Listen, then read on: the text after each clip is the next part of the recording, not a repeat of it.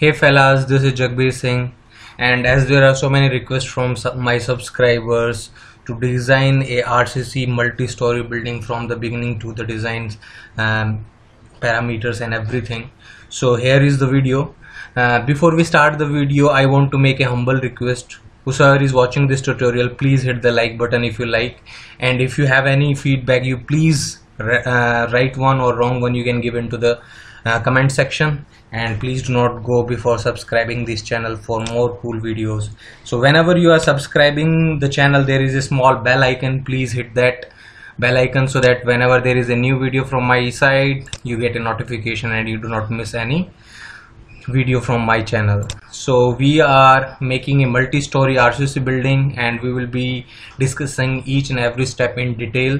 So first of all we have to manipulate with our grid so I'm using my XZ plane and spacing is 5 meter each.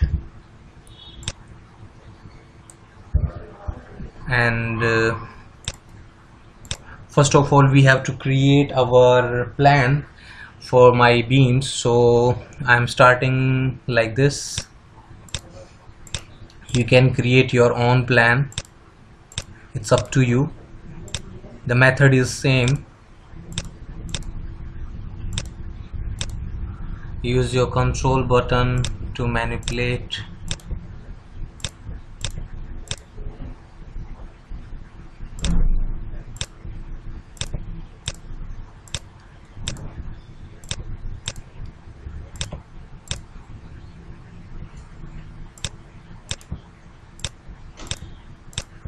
So these are my columns uh, these are my beams so I want to create the columns. So for that you select your nodes by node cursor and go for translational repeat. As uh, the height of each floor is 3 meter so I want to give minus 3 here in y direction number of step 1 and link steps. So here are my columns so the next thing which I want to do is I want to make a multi-story building. So let's say we are making a 10 story building. So for that you select your beams and columns like this and go for translational repeat. And each of my floor is having 3 meter height and uh, I want to make 10 floors. So 10 is here. Go for link steps. And that's how we do it so this is your building. So as you know it is just an arrangement of the nodes. We haven't defined any specification to it. So for that we are going to general and we are going to define the columns and beam specification. So as I want to take my columns to be circular shaped and the specification for them is 0.75 meter and the material I am going to choose is concrete add. And the second thing my uh, beams are rectangular. So my beams are of 0.5 and 0.75 meters with the same concrete material. So now I'm going to assign my columns. So for that go for select. Beams parallel to Y. And so, sorry beams parallel to y and assign to selected beams. Now for my rectangular is for my beams. Select beams parallel to z and assign to selected beams. So if you want to see the 3d rendered view so you can go for this one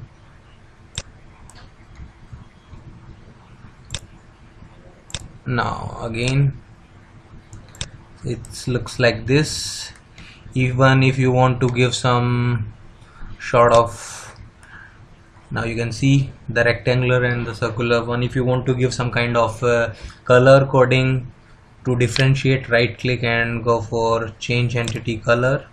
So let's say if I want to make red colored so it can be red it's up to you. Even if you want to take a picture for your documentation go for take a picture and give a name and id or whatsoever just for your documentation purpose. So again i'm going to change the entity color to light gray for beams. Now I'm coming back to my model I have to assign some I have to make some plates. So for that uh, for my slabs there is already a video on my YouTube channel uh, on this particular one uh, in-depth video for slab design. So if you want to see you can see it.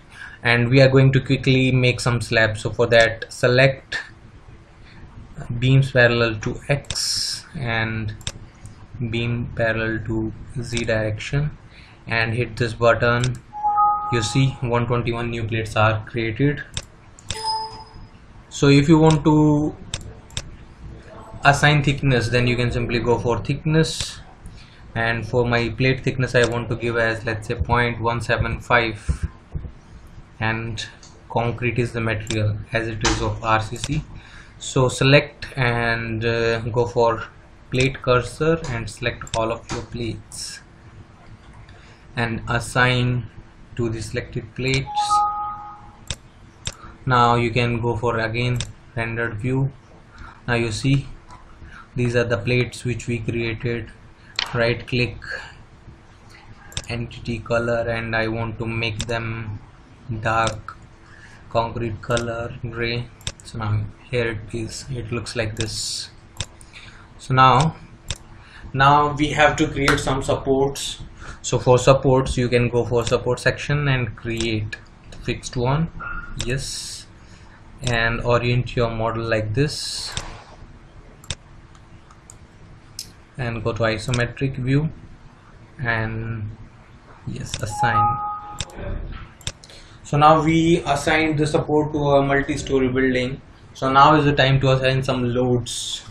And for that we are going to load and definition and create load case details at and we are going to give DL as the title for my dead load case. And in this I want to assign add a self weight in minus y direction with the factor 1 so add and assign to view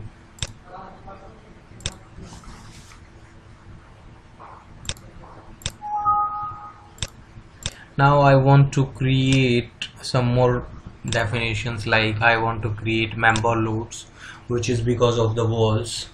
And uh, let's say minus 5 in gy direction.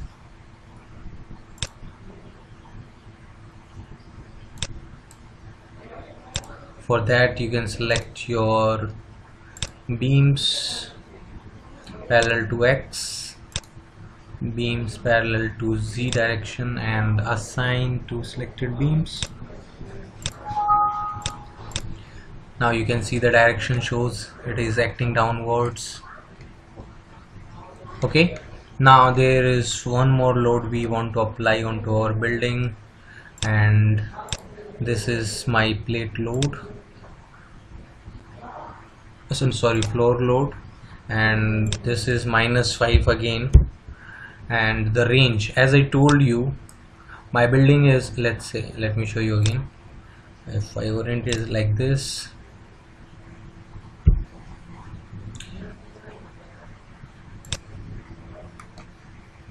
From the bottom to the top. It is 33 meter. So again I'm going for floor load and it is minus 5 and the Y range the maximum range you can say let's say 33 or 30 if you want to give. I want to give it 30 close. It will be automatically applied. Now you can go for analysis and print. Then we will move to design part. So I'm going to add. Close and go for run analysis.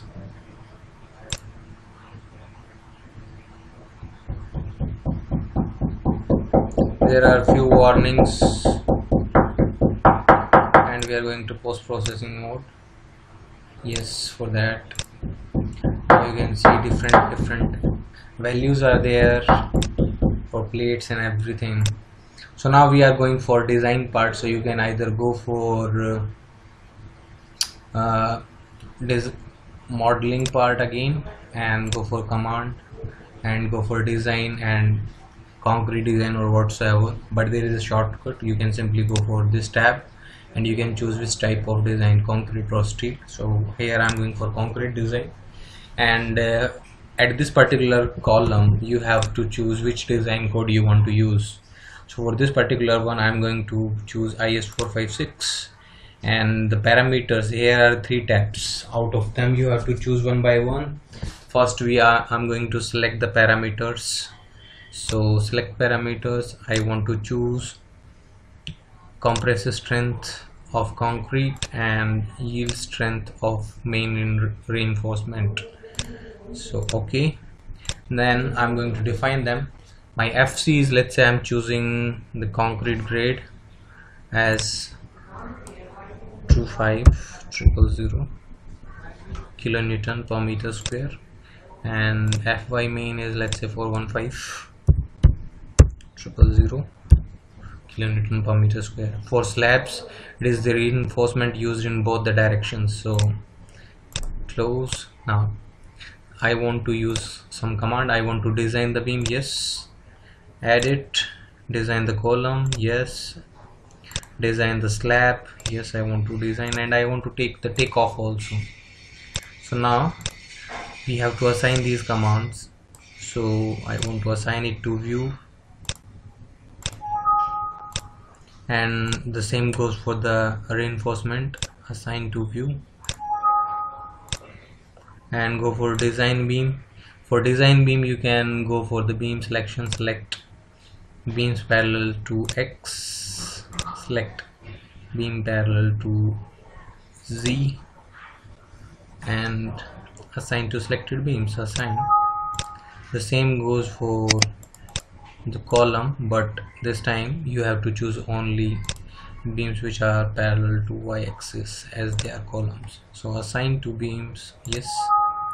And for slabs use your plate cursor and select your all the slabs assigned to selected plates yes. And then you can again go for analyze. Uh, there are a few warnings. We are knowingly skipping them and we can go for output file. And we can simply go for result and go for concrete design. Now you can see this is my concrete design uh, for beam number one design result is these are the parameters which we given. Length is this size this the cover is this section top reinforcement and each and every detail you can see here. So I'm you can watch it. Shear design result each and every center to center distance each and every information is here. So let's go to the takeoff data.